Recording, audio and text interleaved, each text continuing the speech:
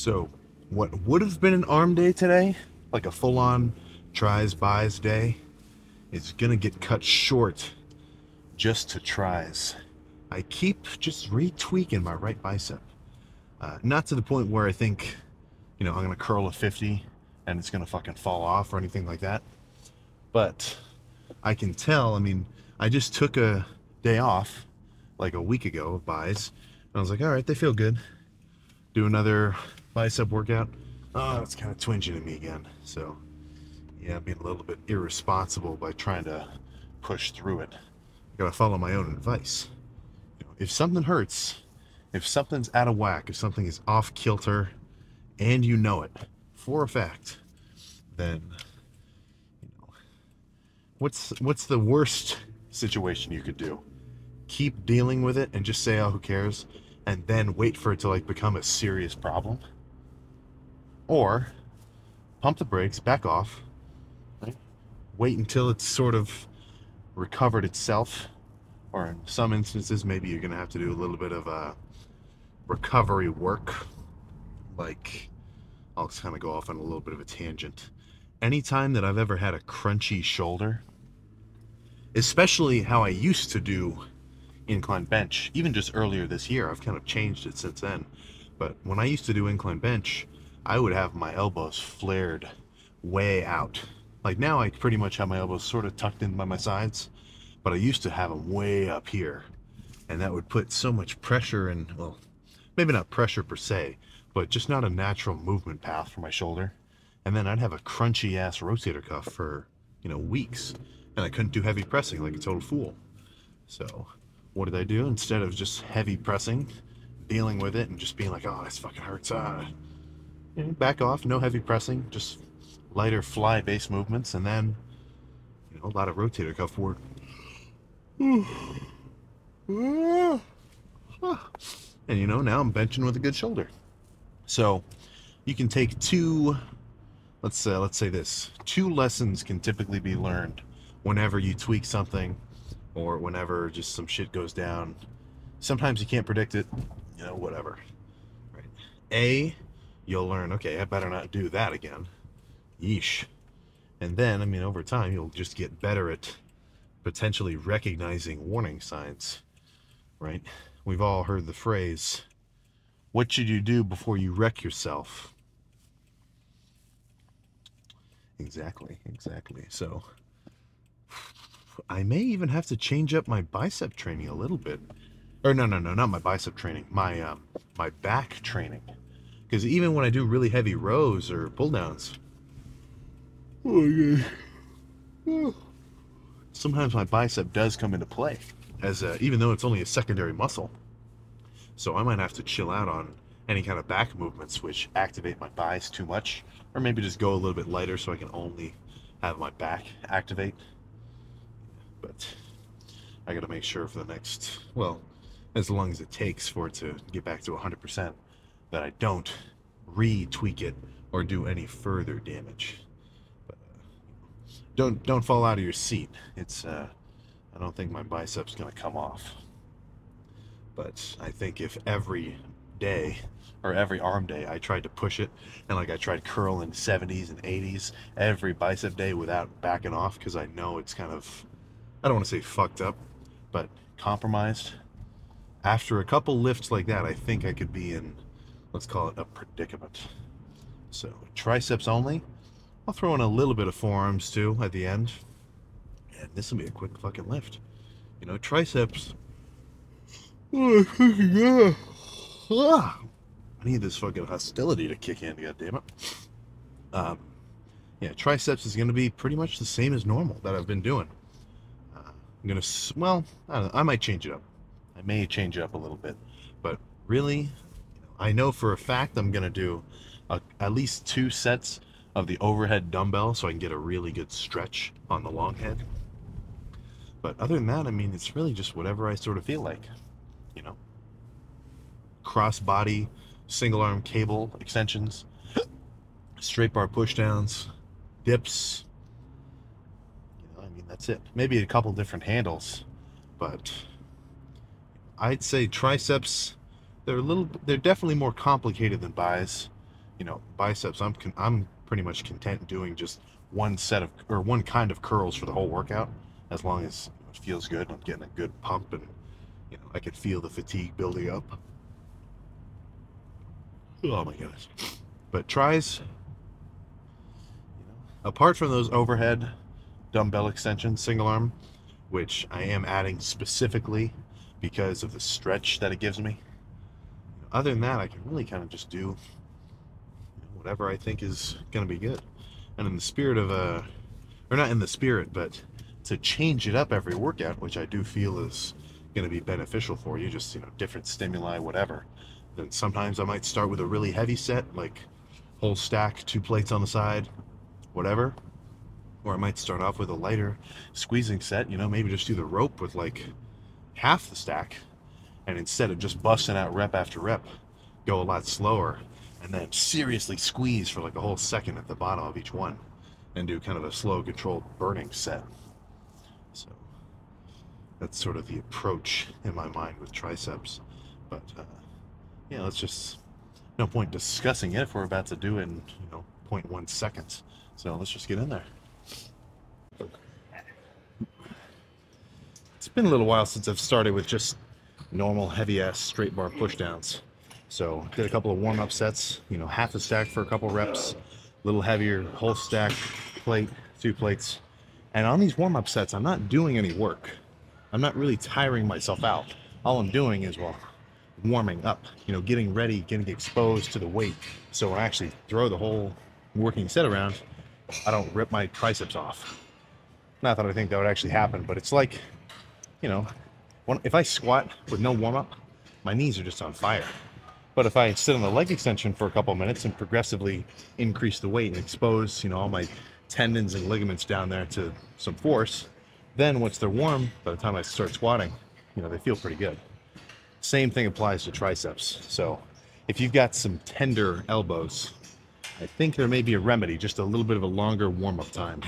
But I'm gonna sit here for at least, oh, I mean, I guess at least one. We'll go from there. Maybe, maybe I'll do a few more. Actually, I'm gonna take this other handle.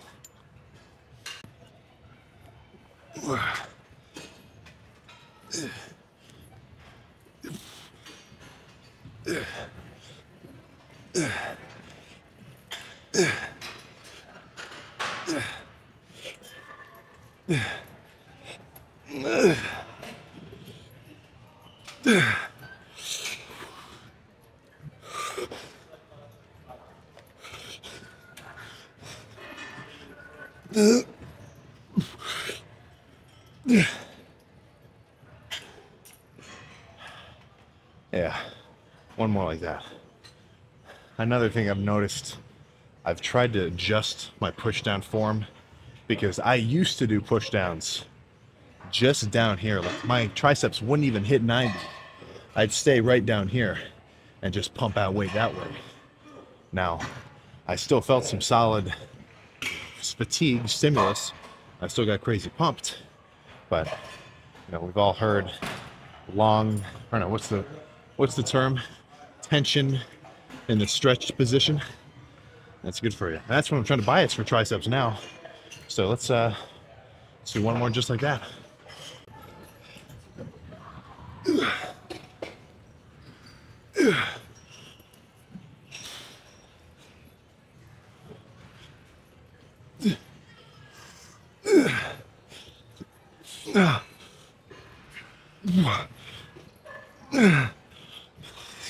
Yeah.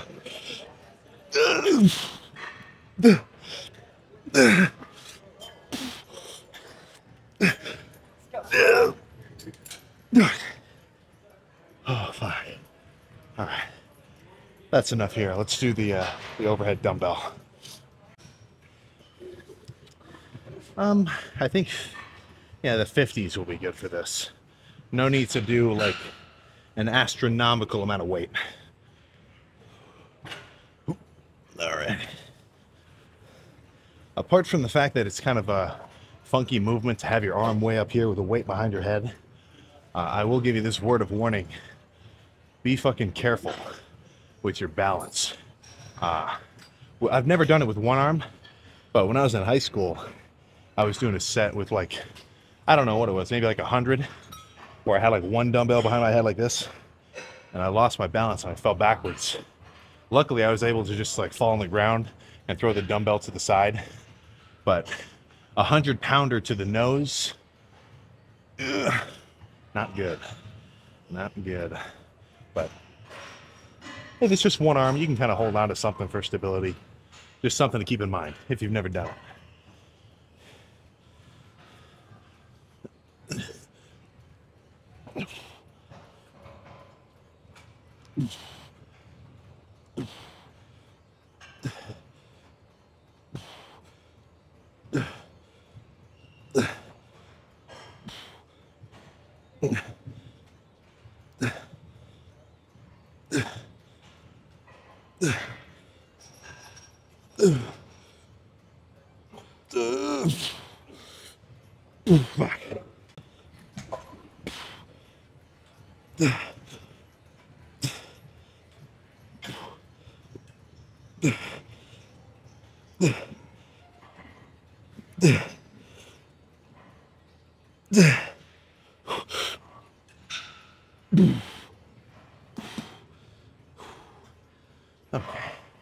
Uh, uh, one more.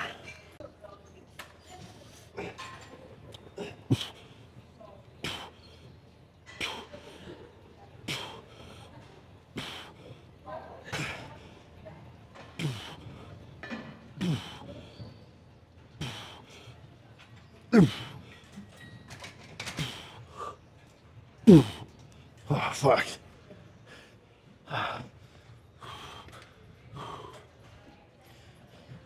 All right. The left tricep's a little ahead of the game compared to the right one. So whenever I do these single-sided movements, if the smaller one fails at 15, then I stop the stronger one at 15. So the smaller one can catch up. But let's do some cross body extensions and we're close to done. We are close to done. I'd usually start with this movement. So right now the weight is half of what I'd usually start with. You know, usually if this was movement number one, I'd be doing like 40 or maybe 50 if I was feeling kind of strong. But now that I'm already so fatigued from those heavy pushdowns plus the overhead extensions, I only need, honestly, 23 might even be a little excessive. I might just do 20. So I'm not so concerned with the weight on this movement. You know, if I wanted to do a movement where I really moved a lot of weight around, I'd, I'd jump onto dips or just go back to pushdowns.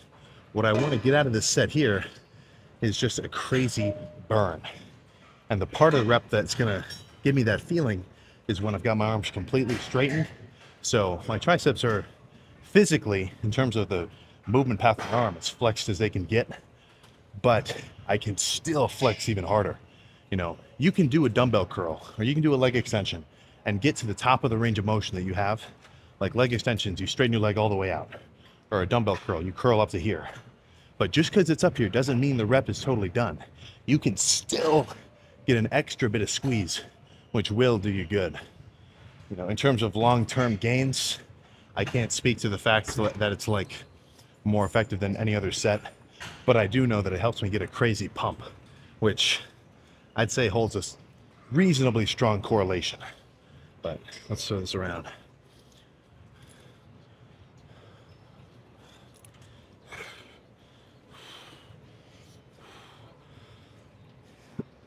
Ugh.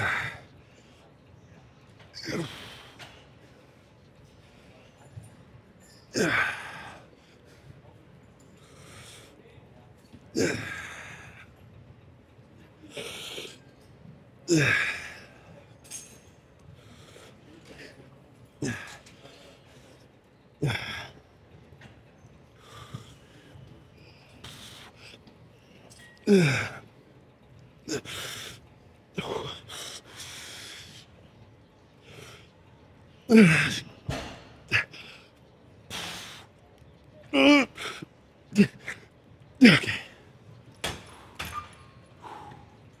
Okay. Yeah, I think that's a good finisher. Judging on just the hard number of or the number of hard sets that were done, overall kind of how fatigued I feel and the pump, that is telling me in my mind that I think I've done enough to have a good stimulating tricep lift. So let's go see how they look pumped. Yeah, let's just call it a tries. Feels kind of weird just doing one small muscle group like that. But the other body part on the agenda is, let's not say out of commission, but let's call it requiring some extra rest. So let's see how arms look with just triceps pumped up. And honestly, I'm pretty much fine with just a tricep pump because I feel like my tries are lacking behind my biceps. So I almost feel like when my triceps are pumped up, that my arms look more proportional, you know? Yeah, exactly. This is what I'm going for. This is what I want out of this bulk, especially compared to all the bulks previous, which I've just sort of been, you know, trying to put on size everywhere evenly. I wanted to improve my tricep training. And I think that doing those overhead dumbbell extensions is going to help me. Just with that extra long stretch. I don't know, man. I just feel like it's given me more stimulus. Like I get crazy pumps by doing crazy amount of weight on push downs. Just stand down here, fucking baby reps, whatever. But I think I've been slacking on that stretch position for tries. And hopefully over the course of the next few months, that change will actually show up in terms of the results. So, oh yeah. Yeesh. That's just one thing that's going to be nice next time I cut down. Hopefully, if my triceps do blow up on this bulk, I'll get way more feathering action. So not only will your muscles develop you know, size wise, just get bigger, but they'll also sort of get a texture and grain, at least a few of them, mainly quads, triceps, and chest come to mind. Like you do a front most muscular and you see all these fibers poking out, sick. And then with triceps, you do have to be pretty lean, but you flex real hard, you'll start to see these sort of cross striations creeping across them, which just look fucking sick. But yeah, man, I swear, triceps pumped. That is what I'm really lacking, as well as just bigger legs. I also want a bigger chest, want a wider back and lats. Shoulders are all right for now, but I'm sure once everything gets bigger too, I'll want bigger shoulders. So I feel like Sisyphus right now. Not that I am fucking complaining, not in the fucking slightest. But let's get in the car. We're done. This is a quick one. Who knows, man? Maybe this is just a sign. Maybe this is a sign that I should chill out on biceps and bias tries. You know, this may be just bro science talking, but it would make sense if you require less nutrients and energy for one portion of your body, then another portion would be able to get, you know, extra and recover a little bit harder. So, blessing in disguise, perhaps. But do uh I am not gonna let you catch me do another bicep workout until I feel 100%. So, if uh if if you think I call it too early, you know, keep me in check. I've got a I've still got a fucking ego a little bit. You know, I try to be zen enough to say, okay, I, I this is not the right move. I should not get this bicep pump right now. I should just keep resting it. But it is, it's kind of hard to say that because I know I want a bicep pump. And I'll sort of do a little bit of like bargaining in my mind. Like, okay, I'll, I'll just go light. I'll just do a light workout. I'll just, I'll just stick to like the 30s and below and just get a pump. No, I think I, uh, I think that's me in denial. That's me in fucking denial. But no, triceps destroyed. I'm definitely going to feel them tomorrow. Especially from that last burnout set with the cable extensions. I mean, those were fucking brutal. Maybe not in, oh, obviously not in terms of the weight that was lifted, because I mean, that was like nothing. Anybody could do that weight. But just squeezing that hard on the first few reps when I was nice and fresh, and then burning out with progressively shorter and shorter partials as I got more and more fatigued. That was a that was just the cherry on top in terms of that tricep workout. So I was only in there for like 30 minutes, man. That was a quick one. So luckily, uh, or not luckily, hopefully I'll make use of that relatively easy day. I mean, that lift in terms of the fatigue and like, let's just call it, uh, well, yeah, I guess fatigue's the only word that it did to my whole system. Uh, not that much. Definitely not as much as compared to a real leg day or eh, even chest and back. So I'm going to make use of that potentially extra rest, get a good ass night's sleep, stay nice and full, full of food, water, electrolytes. And tomorrow's leg day should be as brutal as I can muster, as crazy as I can get. So, hamstrings, I do not have. Ah, shit. You want to hear something? I'm at a crossroads. I'm not really, but I find that it's very easy for me to do a good hamstring lift. Like something about my strength or whatever. If I go to the gym and I do hamstrings before legs, then hamstrings always pumped to hell. I feel like they're gonna rip off the back of my knees when I stand up straight and like fully straighten my legs. Always fatigued, always throwing around a good amount of weight on the hamstring curls. The RDL is always fucking burned. It's never really a problem. Quads, on the other hand, sometimes I'm subject to having a little bit of an off day. Like, you know, sometimes, or let's just say, some muscle groups for you may be a little bit more stingy when it comes to, I want to say getting a pump, but really just kind of overall vibe or performance of the lift.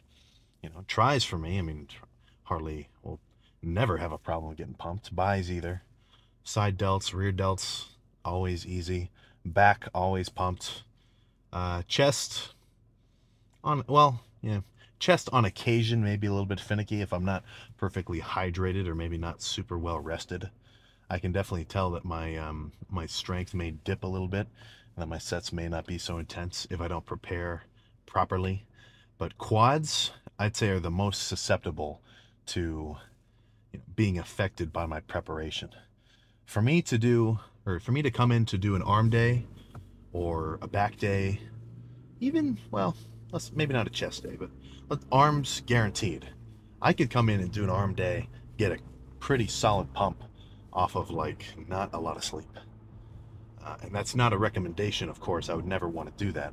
I'm just saying, like, it's not so fatiguing. If my whole system is kind of taxed from not being properly rested the night before, it's such a small muscle group that I can still get a good lift in without really too much problem.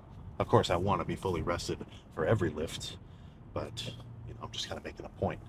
But with legs, it, it's such a big muscle that I feel like it almost has a larger say, or my body almost has a larger say in how strong and let's just say efficient they're going to be. You know, if I'm not properly well rested and I haven't eaten all my food or whatever else, then my leg day is going to suffer. So that's where I've got to take it upon myself to ensure that even though I'm not in the gym, I'm still kind of dictating what I do based upon the fact that I'm going to be in the gym the next day doing a specific thing. If you uh, if you catch my drift. So, some packs of ramen, some milk. I had some cinnamon toast crunch today again. I wouldn't call it a staple, but definitely not a rare meal. Uh, some ground beef, some cheese. I might even do some rice. Hard to say. Hard to say what exactly I'm going to eat tonight. But I'm going to make sure that I am as full as full can be for tomorrow. And then, of course, all the pre-workout meals I'm going to scarf down too. So, the three... Well, actually, I guess those are the only two. Eh, no, there's three. Right? If I want to have a good lift, I want these three things checked off. Sleep, good night's rest, hydration, drinking a ton of water. Like as soon as I wake up, I want to slam some electrolyte packets or some Silo 9, the Hosstile amino mix that does have some electrolytes inside. So sleep, hydration, and then of course food. But honestly, I'd say food is probably third on the menu because I can still have a good lift when I'm dieting down if I get a good night's rest and I'm well hydrated. So, food, I'd say, is my last concern. But of course, since I'm trying to gain weight, it almost supersedes the other two and becomes my first concern. But you get the idea. You know, let's cut it down to the lowest common denominators of progress. Eat, sleep, and train. None of those can be out of whack too much, or else you're not going to make gains. And I've been making this little analogy a lot as of late. If you can tell that you have not made any noticeable progress for the past, I mean, I want to say years, but even even if like you've been trying to make progress and it's been one month and you've seen no changes, then that should be an indicator that you should change what you're doing. You know, so cut it down to the basics: eat, sleep, train. Which one of those three is out of whack? You're probably not eating enough, perhaps. Maybe you're not getting enough sleep. That's when you're growing. When you're in the gym, all you're doing is ripping yourself down. You got to go to bed, get some solid REM, build yourself back up. But you know, do not think that you're training as hard as you can train.